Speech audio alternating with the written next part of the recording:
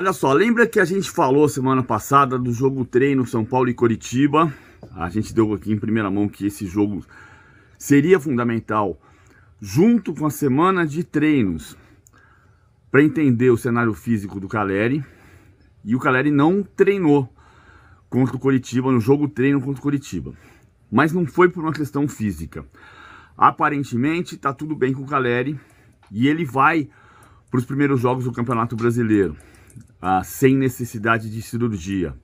Ainda vai ser preciso acompanhar um pouquinho isso, mas a razão de o Caleri não ter treinado no jogo treino contra o Curitiba foi o fato de que ele está suspenso do primeiro jogo da Copa Sul-Americana contra o Tigre.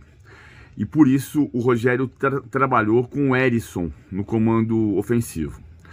Ah, mas, como o Caleri treinou bem a semana inteira sem incômodo, o que era teste, houve até este momento a aprovação. Ou seja, o Caleri é um jogador do São Paulo para o segundo semestre, para o Campeonato Brasileiro, para a Copa do Brasil, para a Copa Sul-Americana. Rogério conta com ele. Só não conta na estreia da Sul-Americana porque ele está suspenso. Então não treinou contra o Curitiba. Queria fazer a atualização porque na semana passada a gente disse aqui que o jogo treino contra o Curitiba seria fundamental para o Caleri. Seria, mas o Rogério preferiu deixá-lo descansando de fora por causa do compromisso contra o Tigre. Mas a semana indica que está tudo bem com o Caleri.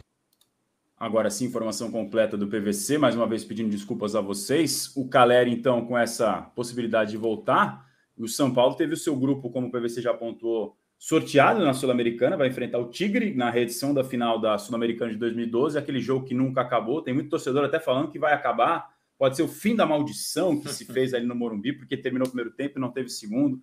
E aí o São Paulo entrou numa fila danada, conseguiu ganhar o Campeonato Paulista recentemente em 21, mas não foi mais aquele São Paulo super vencedor, principalmente da década retrasada, não é a passada, é a retrasada, porque já estamos em 2023.